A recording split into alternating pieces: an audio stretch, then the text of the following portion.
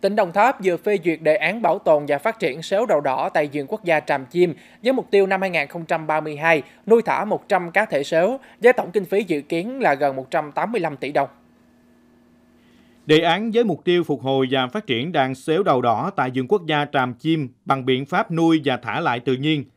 Trong vòng 10 năm, giai đoạn 2022 đến năm 2032, nuôi thả 100 cá thể sếu đầu đỏ với tối thiểu 50 cá thể sống sót Đàn xếu đầu đỏ thả ra sẽ có thể tự sinh sản, tồn tại ngoài tự nhiên và có thể sinh sống quanh năm ở vườn quốc gia Tràm Chim.